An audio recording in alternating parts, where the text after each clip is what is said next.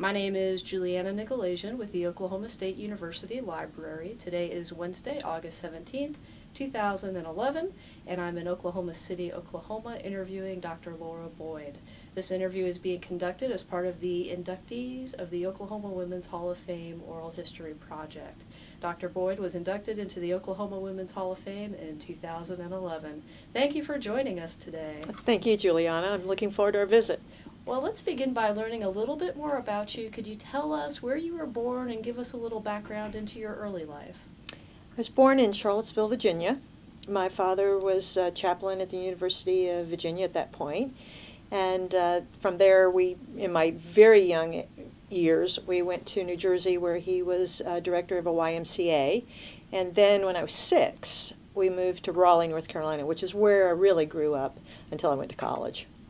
Well, take me through uh, your early schooling experience. Big schools, small schools? Public schools. Went to public schools, and so I think they were probably very similar to what we're finding today in terms of population. Uh, there was elementary, there was junior high, there was high school, but they were public schools, and I was a good student. That was very important to me as a way of uh, identifying myself. It was to, to try to be a good student and put my, you know, put my attention to my grades and to the band and orchestra, uh, which I think probably really molded me as much as anything in my school career was being very, very involved in marching band, concert band, orchestra, and anything uh, with those friends, those kids, really, whom, whom I was relating with from fifth grade through graduation as we all grew older. What instrument? Started out with trumpet. I was a tomboy growing up. Started out with trumpet and uh, was probably mediocre. And so in seventh grade, I switched to French horn, which hardly anyone played, but allowed me to excel. And French horn's a difficult instrument, but it it still uh, was something that I decided to tackle, and I played it on into my first two years of college. Hmm. Well, in those early years of, of schooling, did you have a favorite subject that you gravitated towards? I had a couple of favorite uh, teachers whom I gravitated towards, which made um, science my favorite for a couple of years, and it uh, made uh, history a favorite one year. But I had teachers that whom I really enjoyed. One subject that I went into as a career was teaching German, and I really admired my high school German teacher. I had one in in um, junior high, started say middle school, which we have now, but in junior high. But in high school, my German teacher was really known as an extreme disciplinarian of the old Austrian uh, kind, and he demanded perfection. And I loved his class. I even came back uh, to do my student teaching with him my senior year of college. For you, what really stood out in your mind when you when you thought of, wow, this is a great teacher during those early years? What did you like about their teaching style? He knew how to bring out the very best in his students, and he was not willing to settle for anything less. He seemed very tough and seemed mean. Kids were all scared of him, and yet, right below that there was a softness and you knew that it wasn't mean to be mean. It was mean to say, you can do this and you can do better. And I demand that you give me everything you've got. And so I think the kids knew that. Nobody wanted him to be mad at you. Nobody wanted him to call on you because you might not be perfect. Uh, but um, Herr Watts, uh, as he was known, and and he was a physically he was a strange little man. He probably weighed about 90 pounds. He always wore the same black suit, white shirt, and black tie.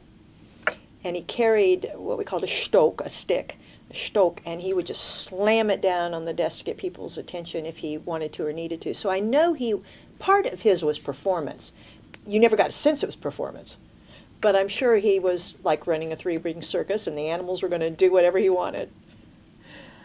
Well, during this time, were your parents uh, encouraging of education? I think it was never assumed that I wouldn't do very well in school. So, yes, they were encouraging. I don't remember, they had to be there. I mean, it had to be there from the time I was a little kid because I, it never was a possibility that I wasn't going to work really, really hard at school.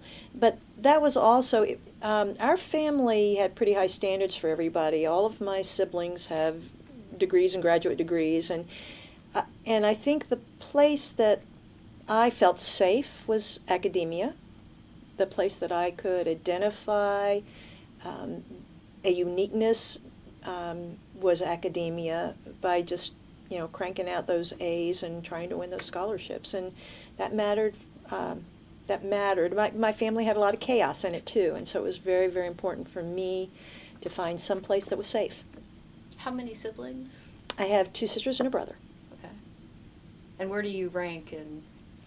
I'm the oldest of the three girls. My brother, uh, my half brother, is uh, eight years older than I am. Mm. So as you're you're growing up and you're thinking about college and doing well in school, what are you thinking about maybe for a future career? Any thoughts? In the old days, women, you know, of course, were going to be secretaries or teachers. And that was pretty much it. And I did not want to do that. I thought for a long time that maybe I wanted to be a physical therapist. Uh, I was a little worried about um, medical school and the cost and how long that would take. So I thought about physical therapy. Didn't want to be a nurse. Um, I wanted to be more the boss than the secretary but I really didn't know. And then I went into teaching uh, because in German because I did love German. I uh, was good at it, and I do remember very clearly in those days that was supposed to be the fallback for women as a career. You could always teach. So I wanted to, but I didn't know what else I wanted to do. I thought I wanted to major in psychology. I got to Duke and my freshman psychology class had 500 students in it. And I didn't feel like I belonged. in the German department, we had about eight professors and five majors. And so I went over majored in German and moved in that direction. Then continued to take some psychology courses, but then my master's and my doctorate are in psychology. So I went back to really what I think I had wanted to do when I had a little more confidence that I could do it and truly felt like I had a little more of my identity at the level of a master's and a doctorate too. How did you decide on Duke? Uh, Duke, I grew up in North Carolina, which was very much like Oklahoma in terms of uh, sports was very important between UNC and NC State and Duke. And um, my father was a Methodist minister, so I uh, was able to qualify for a full ride because of his being a Methodist minister in my grades. And Duke just seemed, uh, uh, just seemed, you know, kind of a notch above at that point uh, in in terms of the local uh, feelings. And so I so I went to Duke, and it was a beautiful campus, beautiful campus, and I had a great time. So how long after graduation you started teaching? How long did you remain? Um, teaching German? I taught for three years Okay. until the birth of my first child. I taught for three years, loved it, loved the kids, uh, supervised the student newspaper and the German club and a few other things during that period of time, and really enjoyed again, again the individuals in my classes. That was just so important, the people contact, and I think that's been a theme throughout my life in whatever career has just been that the relationships matter. So take me through what happens next. Okay. Had a child, uh, put a husband through seminary. Uh, we served a couple of churches, and during that period of time, I got my master's degree. Also taught at Lafayette University in uh, Pennsylvania. Then, after that period of time, uh, we divorced I moved to Oklahoma, did my PhD in one of the very first, now I think we call them like virtual universities, but it was one of the um, long distance kinds of where I would do residencies in the summer mm-hmm. and then be able to take classes in different ways during the year. So I did my uh, degree from here, remarried, uh, went into a practice of uh, counseling, training, and psychotherapy. I was doing that for a number of years, and then we fast forward up to 1992 when I ran for the state legislature. Spent six years in the state legislature. And then after a wonderful and failed attempt to be governor in 1998, I've been very much involved in child welfare, foster care, um, and the political aspects of that since that time.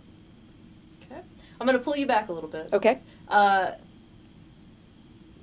you, you spoke about during your college years, you, you took a couple of psychology classes and you were interested. What really drew you back to counseling? I used to tell my um, supervisees that I that I think that all of us who became professional counselors were doing that as part of our own healing and growth. Uh, my father was a minister. He was involved in the civil rights movement very, very um, intimately and highly into the sit-ins in um, the uh, the uh, restaurants and in the sit-ins in the um, drugstores back then, where um, blacks were not, uh, and we didn't even call them blacks, you know, at that time, or not allowed to eat. I was sent to a camp, a summer camp each year, a day camp, where the, there was a white congregation and an African American congregation that the kids came together. The church got on the bus and went out to the day camp, and all of those were very, very formative on me. They were also some dangerous times during that. My parents had a very rough marriage, and there was uh, quite a bit of disharmony, and I was sort of the family rescuer, trying to take care of both my parents and my younger siblings, as well as my brother, actually. And uh, so there was a lot of a lot of that uh, worry growing up, going to sleep worried at night, and counseling was a way to work all of that through myself, but also take what I had learned and take just some of the the ability to be empathetic and sit and be with others as they were in their own moments of suffering. So uh, that's what got me back there. That's what made me good at what I did.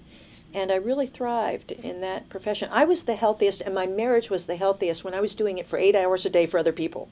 I can promise you that because I would sit there and think, how can you be mad about that laundry not being done when this person's talking about so and so? So it was really a, a wonderful, wonderful career. I think I was good at it. I think I was very healthy during that time, but it was because of uh, you know of what I um, could learn from others and and having to remind myself to you know to live as I spoke and to be as I would share with others that they could be. Mm-hmm. Well, you, you opened your practice in Oklahoma. What mm-hmm. what got you to Oklahoma? Um, relationship. Okay. Uh, uh, man that I had dated and met on kind of the national lecture circuit. And, uh, he was from Oklahoma, and and that got me here. My parents kept saying, you know, come home, come home, you know, meaning North Carolina, and I said to them, I am home. Oklahoma had the best people from the moment I got here. The best people. You can see the sky from anywhere in Oklahoma. And um, I really was home. I, I had never heard of Oklahoma. One of the older sister of a of a guy in my ba- in the band that I hung out with in high school came out to OSU to vet school. And I remember thinking, where in the heck is Oklahoma? Why would she go to Oklahoma? Um, I don't know what she did other than graduate. I've not kept up with them. Uh, but that was the only other, you know, reference I even had to the state. But uh, it, it didn't take long till it took my heart. Well, you opened your practice, and then one day you decided to run for the legislature. How did how did that come about? Well, I opened my practice, and one day decided I had to get a PhD. Ah. Here I was, young, female, I had my master's. I'd practiced on the East Coast, and I'm working with um, good old boys in Oklahoma and I decided that I couldn't get older. I couldn't change my gender, uh, but at least I could be Dr. Honey mm-hmm. instead of just Honey. So that really did help me at age 28 get some more credibility uh, with, you know, traditional Oklahomans, men Oklahomans in particular, because I, my specialty is marriage and family. Mm-hmm. And so um, you don't just work with women, you know, so it, uh, that really did help a whole lot. Um, and I was doing that, and then one night I got a phone call, late one afternoon, I got a phone call and said, uh, from Carolyn Thompson Taylor. And she said, Laura, will you, I'm not going to run for my seat, will you run for my seat? And I said, Carolyn, I don't know anything about roads, bridges, taxes. I don't even vote regularly.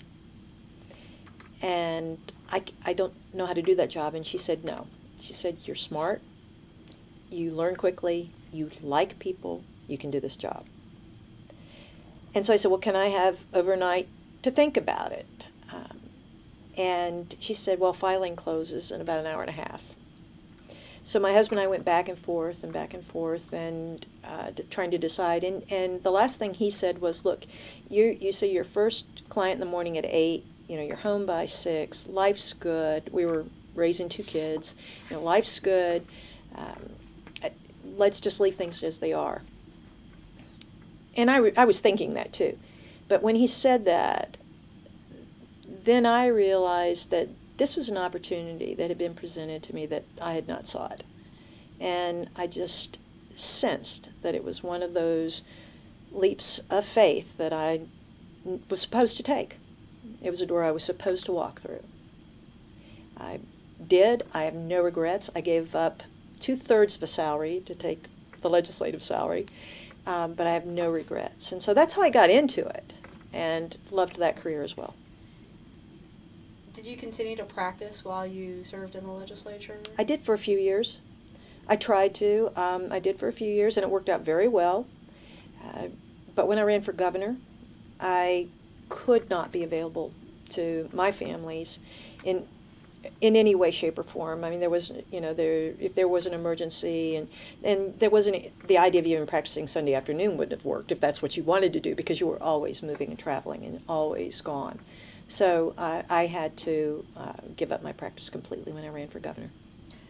I'm going to get to governor in a second. Um, during your time in the legislature, uh, you were known for chap- championing many issues. Could you touch a little bit on the Ryan Luke law for us?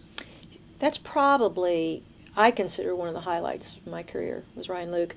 I had tried to pass a number of child protection bills prior to 1995, and all of them failed miserably. There was an adage at that time around the Capitol that a kid bill was dead on arrival. We could talk about the length of quail season for three or four days, but a kid bill didn't even get anyone's attention. And in 1995, Ryan Luke uh, died in January. We had the bombing in April of 95, and in August of 95, we found the body of Shane Kaufman in eastern Cleveland County. That was an opportunity when Oklahoma was just mortified that these kinds of events happened to our innocent children. And so we were able to—I was able to take everything I had worked on for four years and put it together. I held a number of hearings at the Capitol, invited all kinds of different people to come and give input and learn from their ideas. And we put everything we could possibly think of in that bill. I knew it would pass. It didn't, and it was not without difficulty. We had our opponents about different things because we were requiring, for the first time, certain accountability from the judiciary, certain accountability from the DAs. We were trying for the first time to give the opportunity to um, social workers to have some say so about children in courts. Uh, there were a number of things that were difficulty, and I even uh, Shane Kaufman, by the way, had the had been supposedly homeschooled. That was the guise under which he was allowed to go missing for nine months, even though he was dead. And so I had brought in homeschoolers thinking this is a terrible thing that we do. We have to have some accountability in homeschooling. Well, they taught me about the accountability they do have.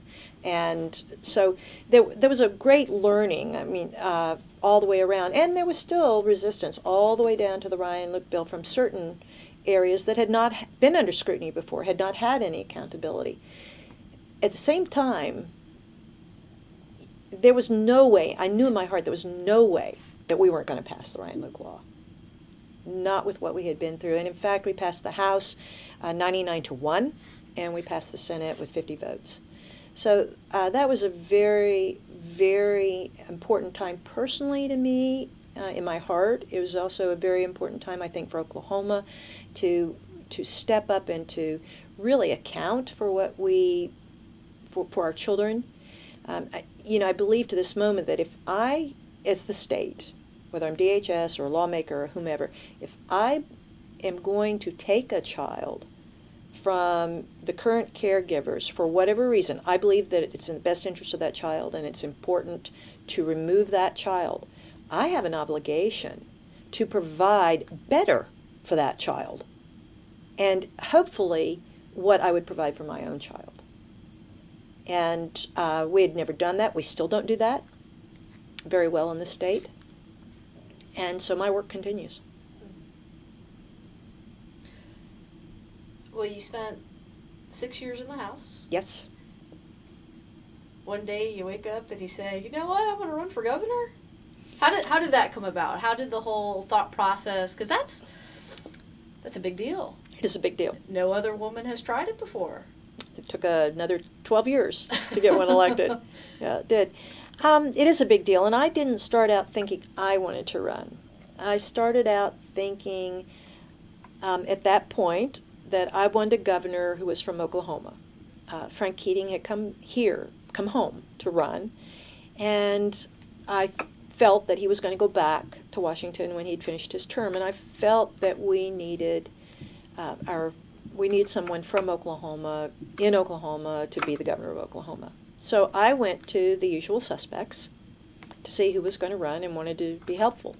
I went to the leaders of the House and the Senate, went to the other state elected officials. Of course, all of these are men at that time. Uh, went to them and, and said, Are you going to consider running? And of course, it would be an incumbent race they were actually much smarter than I at that point. They knew it would be an incumbent race. They knew it would be difficult. They knew that raising money would be difficult, and all of them said, No, I am not going to run. And at that point, I thought, Well, someone has to. And so I decided that I would. I had talked to a number of people by that time, seeing if they would run. And then I talked to a number of leaders of the Democratic Party across the state and said, if I run, will you, will you support me? And, I, and so I went ahead and threw my hat in the ring, um, and I've never regretted a day of it. Was it difficult campaigning throughout Oklahoma? it was wonderful campaigning throughout Oklahoma. I got to learn so much about this state. I mean, I loved this state anyway. But I got to, I was in every county. Um, I never spent the night in a hotel. I spent a night, I only spent the night in people's homes. And I had a great field team who would just set it up. These aren't people we knew. Uh, so I, w- I stayed in a, um, a home in some little town outside of Atoka, you know, and uh, I, I'd stay, um, I stayed in Tulsa in some very nice homes. Um, I stayed in Tahlequah in the home, an African American home, and I will tell you to this moment, I do not know where the lady of the house stayed that night. It was a small house. I had the um, guest of honor room because the plastic was still on the mattress. And um, one of two TVs in the room was in, in the house was in that room, and I don't know where she stayed because there were grandchildren staying with her, and uh, she put my driver up in another room at that point. And so when people went out of their way to welcome you in and tell you about their lives and tell you about their town, um, it was just amazing. You can also drive 45 minutes anywhere in Oklahoma, and the topography changes. It is a beautiful state that most people don't know. They don't realize that. Um, it's not all flat. It's not all hills. It's not all desert. It's uh, 45 minutes and it changes completely. So traveling was really fun. Meeting the people was really fun. And one of the worst experiences was going into um, near the Texas border on a hot afternoon. I show up in a field and they opened up this metal barn uh, with hay to sit on where everybody was coming to uh, hear me speak. And it had to be 150 in that barn, I think. I mean, it must have, I'm sure it was a little, this was the summer, though, that was over, that we had many, many days over 100, so it was hot. And I remember having on, um, I don't remember, it was a skirt. I don't remember the skirt as well as I do very well remember. The sleeveless navy blue um, silk shirt. And it took me about three minutes to look like a nursing mother. And I remember just kind of having to laugh through that because I thought I was dressed up. It might as well have been a wet t-shirt contest, you know, as far as it was just, it was so hot. And so what I learned on that trip was that you always take a change of clothes or two and that you never wear silk on a hot day. You know, that a cotton t-shirt or a cotton blouse will do you much better. So um, I just have stories from everywhere of great people, great times, um, and listening to them. I remember hearing chicken farmers in the Northeast saying to me, please don't get involved in this because we're afraid of the, of the growers, the out-of-state growers. We're afraid, um, and we don't want our life to be any worse because this is all we can do. And um, just people who were sharing how hard they were working um, and what their worries were. What did you take away from that race? I took away from that race that if you're that you you have to have a message that resonates with the people. And I think I had that. And I think I learned being running against an incumbent that you have to have enough money and that it's very difficult for incumbents to raise that money. So I knew that hard work, belief, really listening to the people, and if you were going to represent the people, that that will take you everywhere. Everywhere. I did not win that election, but I won so many things through that process. And I changed the content of the discussions for the second term of Governor Keating. Uh, there were things being talked about in terms of the environment and um, uh, growers and incubators, and there were issues about children and education that were being talked about in ways that they had not been before. And now look. And now we have a woman governor. We had two can- women candidates for governor. Mm-hmm. I mean, uh, yeah, we're on our way. Yeah, you have to start somewhere. And I, you know, it was interesting watching that campaign. And in the back of my head, I'm thinking, boy, I wonder what Laura Boyd's thinking. Yeah. yeah. So after the run for governor, what did you do besides take a little break? Well, I didn't take a break by choice. I mean, one of the things that I didn't do, which I would encourage women to do, I think men already do this, I was focused on that race. I wasn't assuming I'd win, but I was focused on that race, which means when you don't win, there's no plan. You know, the the the uh, script had run out as far as that was at that point. So I I uh, didn't know whether I you know, mattered anymore. I mean, these are all things to me because, you know, I had always been, I'd always worked. I had always focused in on some job, you know, or some goal. And now there was nothing that I either had to do, was expected to do, and actually could do. I mean, I was unemployed. You know, I had not set it up to have something in the wings. And so it was about six months of really trying to come to terms again with uh, what do I want to do with my life, and um, and am I significant in in the world, um, in my world anymore? And uh, uh, it was not not necessarily pleasant, but it was important because if it did nothing else, it let me rest. One of the other things I did during that time is I just happened to find on the internet one day a fellowship called the Eisenhower Exchange Fellowship and I applied and I won a fellowship to Peru the next uh, fall to work with women who, well, to work with their government really, in, and uh, women advocates who were trying to figure out how to have a voice in the political system. So that was probably the real hidden treasure that came in that period of time, and it was just a fluke of, you know, nobody loves me, and looking around on the internet, and I thought, well, I'm going to apply for this. I don't have a job. I'm going to apply for a fellowship. and I got it. And how long were you in Peru? I was in Peru. The fellowship itself on the ground in Peru was about six, six weeks. And with the way the Eisenhower Fellowship works, and it's been an important part of my life, is there are probably about 35 uh, leaders from around the world who come to the United States each year. And there are five or six U.S. citizens who go somewhere in the world each year. And I was in that class in 1999. And since then, most years I've spent some time hosting someone from some foreign country here in Oklahoma for anywhere from two days to five days of their tours across the United States. And it has just been wonderful to spend some time with someone from Indonesia here, from Turkey, uh, from Peru, from uh, j- this past fall I had someone from Palestine. Mm-hmm. It's just been so rich to to show them about Oklahoma and the feedback that I hear from uh, Eisenhower people in Philadelphia, their home office, consistently is that their time in Oklahoma was the highlight of their trip or was among the highlights of their trip. And I think that says that what those international visitors pick up on is the same thing that I saw when I came out from North Carolina.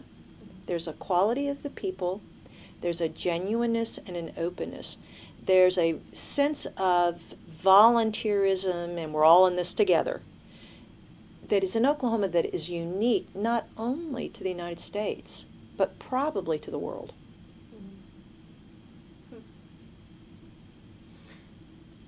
So what's next? Well, I'm pretty happy with what I'm doing at the moment, um, which is I um, own a company, a consulting company, but my two major contracts in that company are one is executive director of the Oklahoma Therapeutic Foster Care Association. So I spend much of my time representing 13 agencies that deliver therapeutic foster care across the state. All of those are DHS kids. They're all high level foster children with mental health issues and behavioral health problems that require intensive services beyond traditional foster care. So we're like a mini DHS. Um, they are all DHS custody kids, but we recruit, train, supervise, deliver services for our children all across Oklahoma.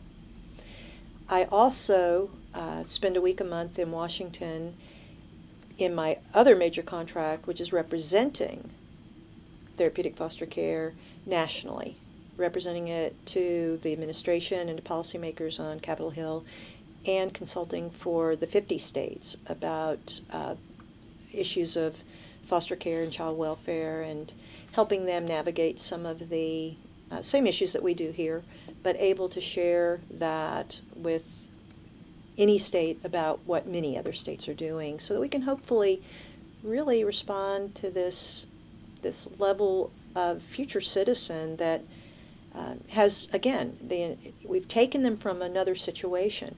We must provide better for them than they have and we should provide for them as if they were our own child. Is it difficult uh, lobbying or uh, at the national level uh, with some of the things going on with our government right now? Well, it's certainly frustrating at this very moment when there's all you, all you hear is blame, and frankly, when the issue, what what's vulnerable on the chopping block, are the constituencies who have no voice of their own, and that is children. Uh, seniors at least band together and speak for themselves. I am amazed that when most people, the majority of people in the world, are parents or have been parents, that they don't, even, there's no voice for children. There's no voice for children. And so that was true. Bef- that was true before. It's just gotten more intense. It was true during the health care debate for two years. My work nationally was I wanted to just make sure that foster children were included in whatever came down the pike for healthcare reform and Medicaid. Today, that's morphed into tr- discussions with the exchanges that are being set up in each state, the healthcare exchanges, and the basic benefits packages to make sure that The needs of foster children are included in those.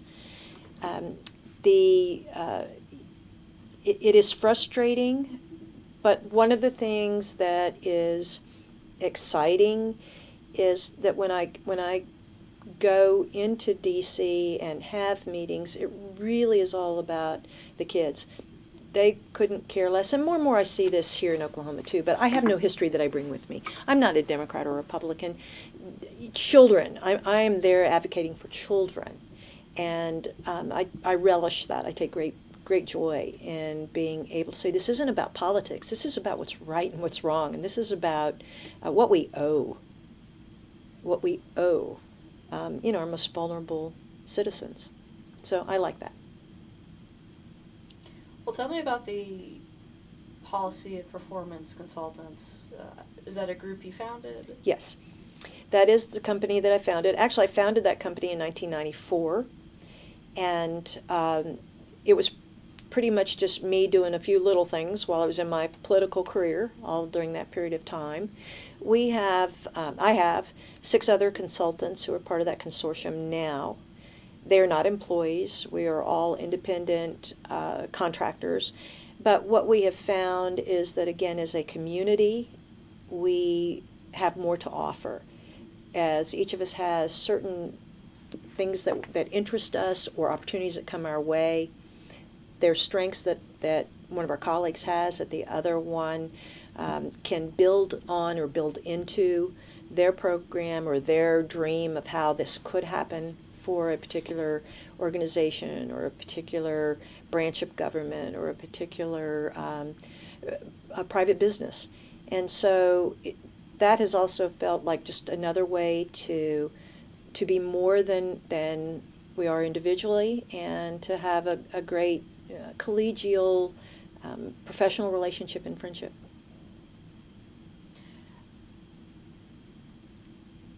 Now, during that time, did you ever think maybe I want to get back into politics? I thought it for a long time. I thought it for a long time, and the only thing that probably kept me away from it is I knew it would kill my husband. I really did. I really did. Um, he was always very, very supportive. But one of the things most people don't know is uh, when I ran for lieutenant governor in 2002, that was a very difficult time. First of all, it was supposed to be an open seat. See, I'd learned it was supposed to be an open seat.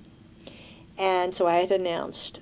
And then Mary Fallin decided not to go for governor, but to run for a third time for lieutenant governor. And so here I was back right again with the incumbent situation um, and with the and therefore with the difficulty of money. That was in February, late February, I believe it was, maybe early March that that, that happened. March 18th, my husband was diagnosed with stage four throat cancer.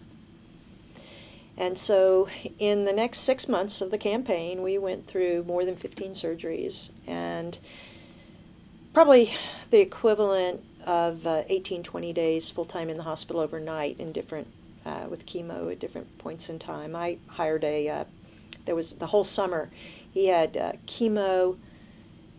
He had chemo and radiation, chemo once a week, radiation twice a day for six weeks in Midwest City. And so I had to hire a driver who would take him up in the morning, and then I could work on the campaign, and then I would go pick him up and bring him home. So it was it was an extremely difficult time. And uh, what I said during that time was that you know it made it possible for me to survive both. That you know I couldn't focus only on the campaign because I had my husband, but I couldn't couldn't get swarmed under cancer because I had a campaign. And I I think I told myself that to survive or to make it as healthy in a difficult situation as I could. What I know in retrospect is that I did not run a good campaign. I couldn't run a good campaign.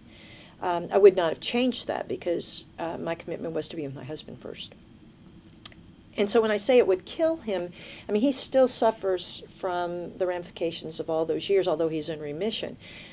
And um, I think if it didn't kill him, you know, he might just find a way to help it kill him if I ran back if I went back into public office. I just don't think his health could take it, and I don't think he'd want to deal with it. And and what I've learned in the last couple of years is how I can really affect, st- still really affect, and in fact even in more significant ways, the area of child welfare by what I'm doing now. So I may not be able to save the state of Oklahoma, save the world. You know, I can't be spread out in the things that I'm, all the many things that interest me and that I might have wanted to do in political office.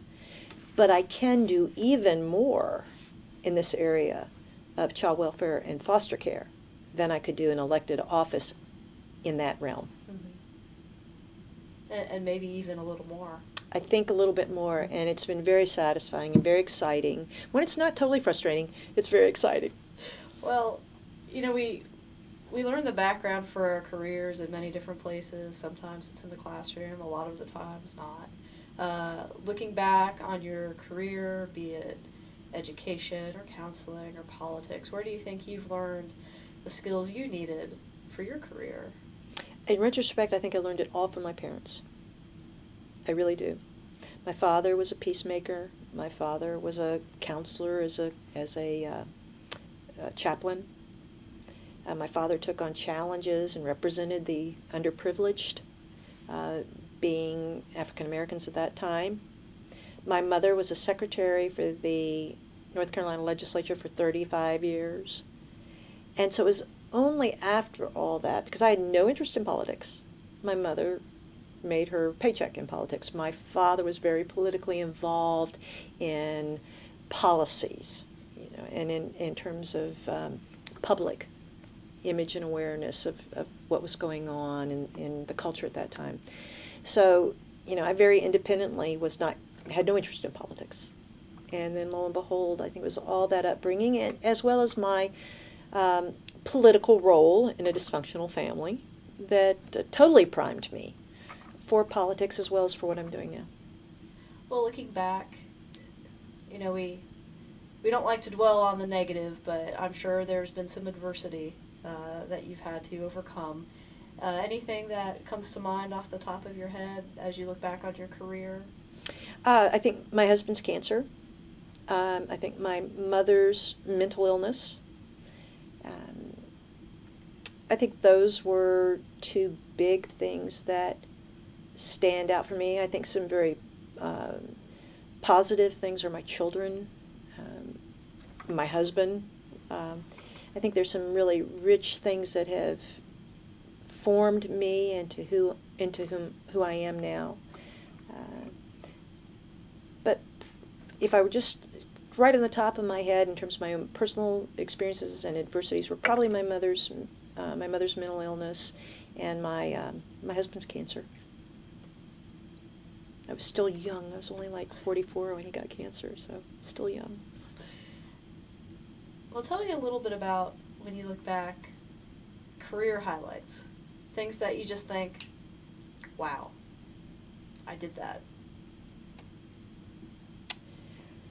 Um,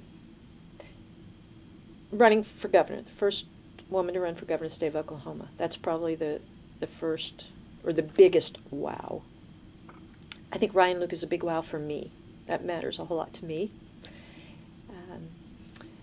When I taught at Lafayette College, I was on faculty with just a bachelor's degree. Didn't even have my master's at that point. So that was a pretty big wow for me that, you know, I applied for a job. We all I interviewed with others and I was chosen and that was important uh, to me. Um, and I think I was tickled pink when I got my first teaching job. I was supposed to, I had a German degree, I was supposed to go work for a travel agency. I was going to work six and a half days a week. We had to work on Sundays, uh, Saturdays, and my salary was going to be $85 a week. And the week before I was supposed to take that job, I interviewed for this opening about 45 miles away, so I had to commute while my husband was in graduate school, um, for a German teacher. And I was just tickled to death to get that. So each of those were very important in terms of my feeling like, wow, you know, I got that, I did that, I can do this, and um, moved me on to whatever was coming next. Well, in 2011, you were inducted into the Oklahoma Women's yes. Hall of Fame. Yes. Uh, what was going through your mind when you got the phone call? Uh, I was thrilled. um, I was humbled and I was honored. Um, I didn't tell anybody right off. I didn't know what to say or how to say it. And to this day, a lot of my friends find out later or don't know, uh, unless they, they were reading the paper or, or happened to um, be in my most inner circle, you know, in, in which case I invited them to come. So I was really surprised. I, I've always been somebody, I want to be noticed, but I don't I mean, I want to I want to know that you noticed me, but I'm real uncomfortable at the time of being noticed itself, you know, that kind of thing. And I don't know how to explain that. So um, I'm thrilled that I'm in the Hall of Fame. I dreaded getting the award. You know, I dreaded getting the award in the sense of I just don't want to be up there and um, and be that focus of attention. But I'm so delighted to have been noticed, and I'm so proud that somebody, you know, nominated me and that folks selected me for that that esteemed honor. Um, so it, it was hard to know what to do at first, but I was so proud the day of of actually the induction. Um, the girls came up and told me that um, my husband cried, you know, he, and he's gotten to an age where he gets very emotional about a lot of things. So he's back there crying, and uh, 15 year old granddaughter whom we've raised was just up all the time taking pictures, very few of which actually came out. But, you know, it was fun seeing her up there. I mean, the family was so happy and they were so excited um, that that helped me get over my self-consciousness but also any um, self-absorption about what is what what is going on with me. That just really wasn't very important. What was important was you know just letting that day happen and enjoying it and taking it in and seeing other people's joy um, too. And so it, it was just a wonderful experience do you remember who presented you? Yes, Cindy Kaysen presented me. Uh, she is one of my colleagues in Policy and Performance Consultants. She is, and I can say this because she's she says it. It's given me much permission. I um, her family was one of my client families uh, about 18 years ago, and I got to know them all very, very well. Uh, first time I met Cindy. She's heard me tell the story too. So usually, if you've had somebody who's a client, you're not supposed to say this stuff, but it's this is public record. She's fine with this. Um, I wasn't sure I liked her too much. Her husband brought her in for marriage counseling, and I thought I think I could see why. You know, I didn't say that. I think I could see why. Um, her husband, a few years later, uh, was diagnosed with leukemia, and so I spent about nine years really. Work, in fact, they called. She called me on Christmas Eve. He had been diagnosed and said, What do we do? And I said, You don't tell the kids. Tomorrow's Christmas. You do not tell the kids. You know, so anyway, we just kind of walked it through for nine years. For nine years, we walked it through. And um, of course, over that period of time, um, the relationship was still very much. I was I was the therapist for the family, and then with Robert's passing, um, we became friends very very quickly, friends and colleagues. And so yes, Cindy Kaysen uh, nominated me, and that also was just so special, so special. Well, through throughout everything, your your work is so varied from education to public policy to politics. Uh, when people look at you now as a role model, even though you may not directly see that uh, every day, what what goes through your mind? I hope they, well, here's what I hope they would see. I would hope that they see someone who is enjoying working hard. I would hope they recognize some sense of competence. I would hope that they that somehow though I do that in a way that's still feminine, that you know that there's some sense that you know she can be competent and uh, and a woman um, I think you know I hope that they see that. I hope that's I hope I project that. I mean I hope I project that, and therefore I hope they see that. I, I hope that's um, and then I hope they say you know um, I can too. Um, I can work hard. I can I can be happy in what I'm doing. I don't have to do the same thing all the time. Uh, I can do what I'm passionate about, what I and, and what I what I think I'm supposed to do. I hope they, I hope I give that out to them. You know, you, you've you've mentioned your your parents, um, your German teacher. Yeah. Is there, and I'm sure the list is very long. Is there anything you'd like to say about the people who who've really played an important role in your life? there have been many. Um, there have been a few who stand out and a few who are key. But I think one of the things that um, that I've always done, and one of the things I coached clients to do is um, there, you can learn something from everybody. And look for what it is that you're wanting to learn. Uh, what I'm learning right now, and what I'm looking for, and have been for a few years now, is I'm watching um, folks in their 70s and 80s whom I, I feel are aging with elegance and with real competence. Um, I'm watching them because I want to learn that. You know, I want to be that. Um, and there's not just one person who's going to teach that to you. Um, I want to I want to take the best of all, and then I want to be that one person who want, you know who's got it all, so to speak. You know, but I think whatever it is, you know, you learn something from everybody, and especially the people you don't like, especially the people that are hardest to get along with. Um, you know, if you'll pay attention, you will really learn something. Uh, if not about them, then about you. And so there's, I think I've lived that way for so long that one of the fantasies I do I have along that line is okay at my funeral who will care to come who will care to come um, I don't know but uh, when I get the snapshot of who's there then I'm going to go through you know I guess I did matter to them and um, I had no idea that what I said was important for her you know I mean that's the fantasy that I play with myself all the time uh, is um, learning from anybody I I can learn from and then trying to give it back. If you could give any advice to Oklahomans, what would you tell them?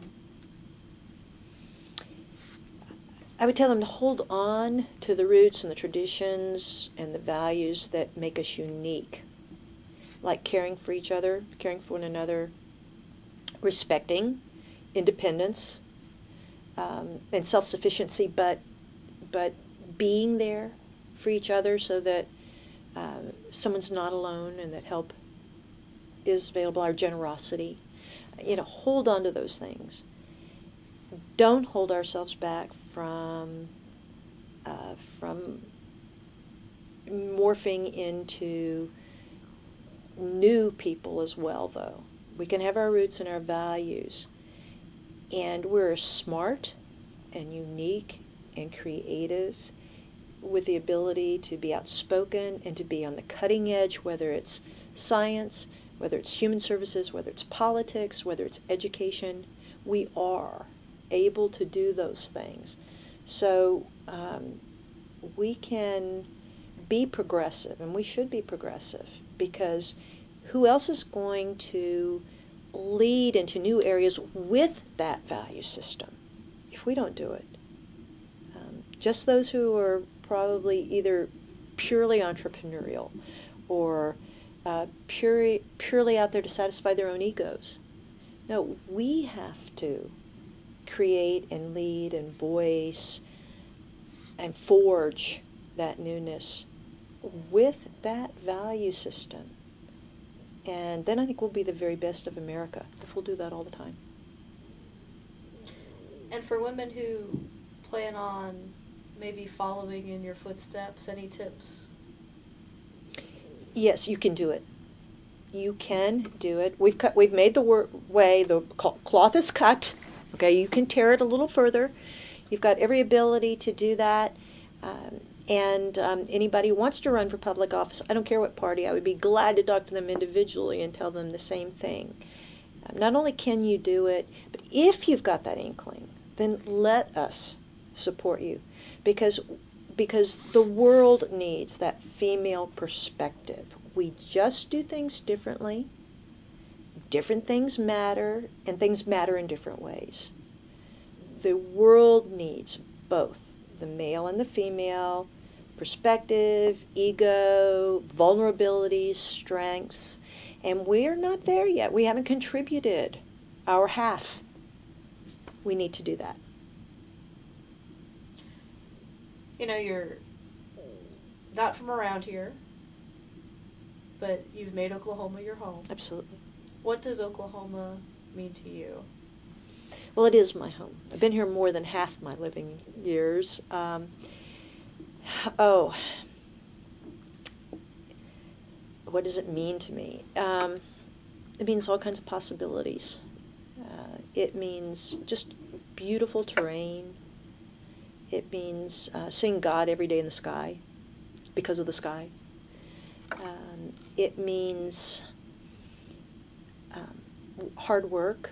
Means hard hard life, but but a rewarding life. I mean, I don't think things are easy in Oklahoma, and you know, if there's value in working for what you got, or you know, and whether that's you know just the paycheck at the end of the day, or the family that you've managed to keep together through bad times, or the you know the election you win.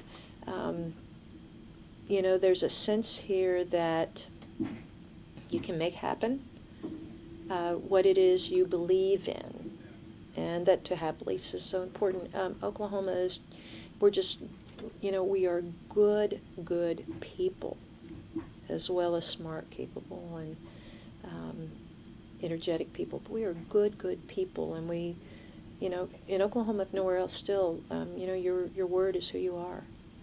Oklahoma is a wonderful, wonder, and and I just giggle whenever I love it when somebody comes to Oklahoma for the first time um, because they they might as well go to Disneyland.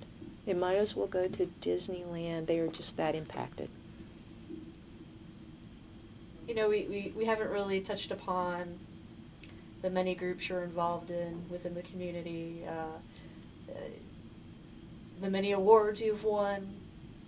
There, the list goes on and on. Um, but what is next for you? What's the next big thing on your radar? You know, you continue to advocate for Yeah. our children, uh, not only here in Oklahoma but nationwide. Is there anything you have out there on your, your agenda?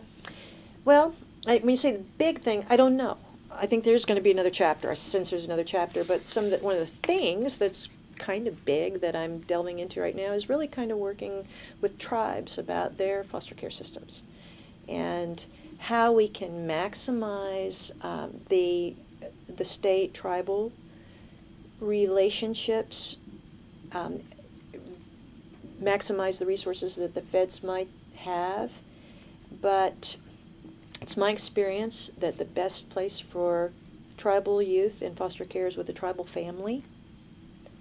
And um, I want to see that capacity happen for our tribes, as well as I've been asked to look at some tribes in other states. I, I believe that's important. We haven't done that in this country. We take care of tribal children and we deal with the um, Indian Child Welfare Act and we deal with the rules and the regs, but most Native American foster youth are with American uh, Caucasian or other families who are doing their best to take them to powwows or to do this, and that's not the same. It's still, these children have already been traumatized, and to be taken away from their identity, uh, even to a wonderful, wonderful foster home, is not giving them the best that they should have. It's not the way I would want my Native American child, if I had a Native American child, to be taken care of. So that's an area that I'm moving into, and I think there can be some really exciting things there. I think it'll take us a long time and a while, but you know that that's what's on the horizon within the last month, and I think it's going to go somewhere. That sounds exciting. It's going to be fun. It's going to be good for kids. Oh yeah, and it's just right up your alley. It's going to be good for kids. Yeah. Uh, before I ask my last question, is there anything else you'd like to make mention of today that I haven't covered? I, the only thing I can think of is really thanking um, the commission for the award and thanking OSU for the oral history project. Um, I think this is a way we leave a legacy for those to come, and it will be through the eyes that you are making available to future generations that they're going to know and they're going to have the opportunity to take something that I've said and that each of us awardees has said and say, wow, that makes sense for me. I can do that too. Well, when history is written about you, what would you like for it to say? I, ooh, wow. Um, I hope it will say um, she she lived and loved with her whole heart, and um, she never backed down from a fight when it came to sticking up for kids. I think that's a good way to end. Thank you for your time today. Thank you, Juliana. I appreciate it very much.